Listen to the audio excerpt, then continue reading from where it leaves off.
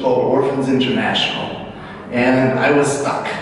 So uh, I began to leave Wall Street on weekends, and I would fly to Manado and start to figure out how we could buy a house there, rent a house, and raise 12 kids, uh, and see how that was possible. So we began our first orphanage in Manado in 2001, and we raised 12 kids.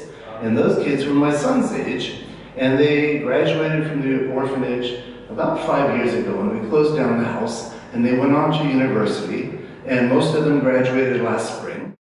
My mom's estate was raising young global leaders, so we decided my father's foundation should be supporting young global leadership.